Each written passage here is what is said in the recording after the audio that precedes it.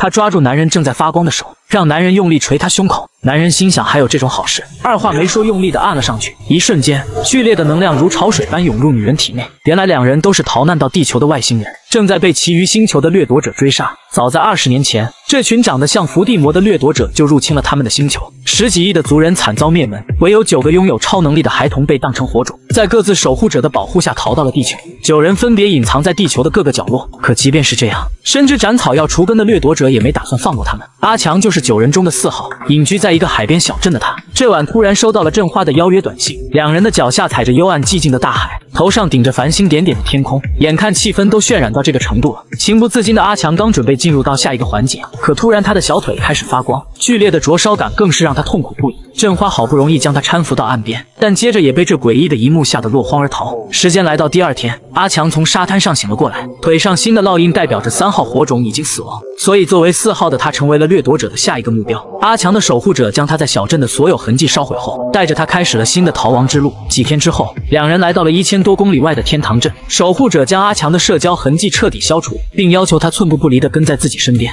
但已经流亡二十年的阿强本能的害怕孤独，所以这一次他执拗地想要融入人群之中。眼看劝说无效，守护者也只能无奈的让他随时保持联系。就这样，阿强带着伪造的证件来到了学校，在办理入学手续时，阿强就对正在挨训的阿珍一见钟情了。借着老师让阿珍带他熟悉学校的机会，两人。很快就成为了朋友，而学校里所有的一切都让阿强感到新奇。看到有人被校霸欺负时，他会不自觉的上前提供帮助，接着立马捡起橄榄球，一把将校霸砸飞。也因此，他收获了人生中的第二个朋友。胆小懦弱的山姆从小就痴迷于研究外星人，因为他的父亲就是在寻找外星人的过程中神秘失踪了，所以他也想借此找到父亲的踪迹。而逐渐习惯了学校生活的阿强，这天在上课时，两只手掌突然发光，惊慌失措的他为了避免身份暴露。只能立马躲进了杂物间，但手掌上的光芒却越来越亮。就在他以为自己要变身成探照灯侠的时候，他的守护者及时的赶了过来，告诉他这是他的超能力正在觉醒。在守护者的帮助下，他这才控制住了体内的能量。回到家后，阿强开始不断适应自己的超能力。只见他捡起一块石头，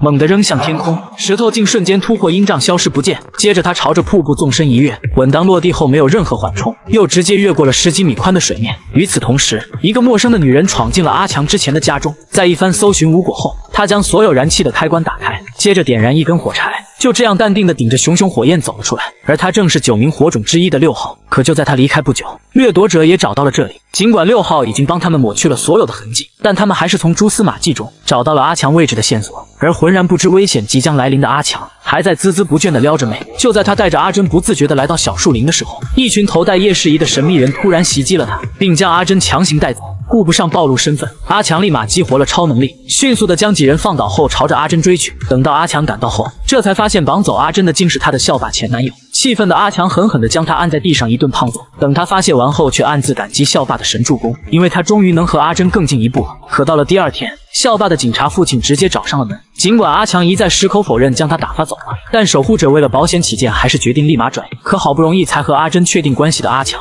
打死也不愿意离开这里。甚至用超能力将守护者控制住，试图告诉他现在的自己完全有自保的能力。但下一秒他就被守护者给上了一课。守护者用丰富的战斗经验轻易的将他制服。为了大局着想，阿强最终还是答应了撤离。可一波未平，一波又起。到了第二天，醒来的阿强突然发现守护者不见了，紧接着他就接到了守护者的电话。可电话另一头传来的却是一个陌生的声音。他用守护者的性命威胁阿强，让他在天黑前赶到指定的地点。意识到大事不妙的阿强立马联系了山姆，跟他坦白一切后，在他的帮助下，两人成功赶到了神秘人提供的地址。阿强用超能力将守护者救了下来。可就在几人准备离开时，掠夺者一枪拦住了他们的去路。在他对着阿强再次扣动扳机时，守护者及时出现，一把将他撞开。但三人刚坐上车，掠夺者再一次从天而降，手中的利刃直接将守护者洞穿。悲痛欲绝的阿强用超能力将掠夺者击飞。可等他们逃出来后，守护者却还是因为伤势过重，永远的闭上了双眼。而也因为阿强的逃走，两名办事不力的信徒被掠夺者残忍的肢解。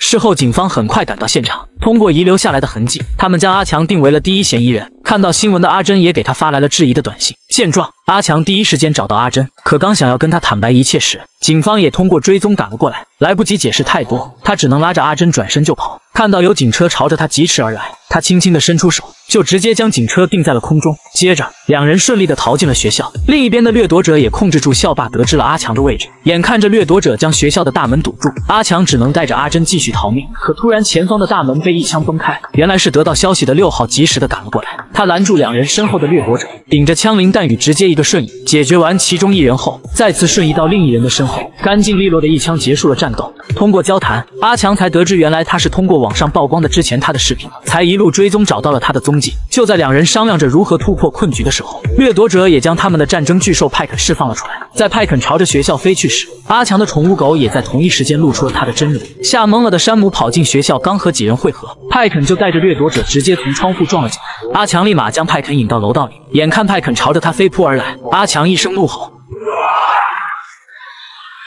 可下一秒，毫发无伤的派肯还是继续朝着他袭来。就在他回天乏术的时候，宠物狗及时的出现，一把将派肯扑倒。趁着两只巨兽站在了一起，阿强赶紧跑回教室，第一时间将落入下风的六号救了下来。此时六号的能量已经耗尽，于是他拉住阿强的手，让他用能量给自己充电。等到他满血复活后，两人各自挑选好对手冲了出去。六号趁其不备，一个瞬移直接跳到掠夺者的头上，毫不犹豫将他化作了尘埃。接着他将手上的武器抛向阿强，阿强一个转身后也干净利落的将敌人解决。四人刚跑进学校操场。却又被另外三名掠夺者挡住了去路。阿强赶紧让山姆将阿珍带走后，他和六号也朝着掠夺者冲去。在阿强的掩护下，六号顺利的解决掉其中一人，又趁着 BOSS 被阿强控制住时，利用瞬移成功的将另外一人斩杀。可他自己却也在同一时间被派肯抓走。看到六号危在旦夕，阿强也顾不上身前的掠夺者了，他双手朝着六号释放出能量激光，限制住派肯的同时，也给六号充能。可就在六号挣脱出来将派肯击杀时，阿强却也被脱困的掠夺者一枪轰飞。接着掠夺者一把将他提了起来，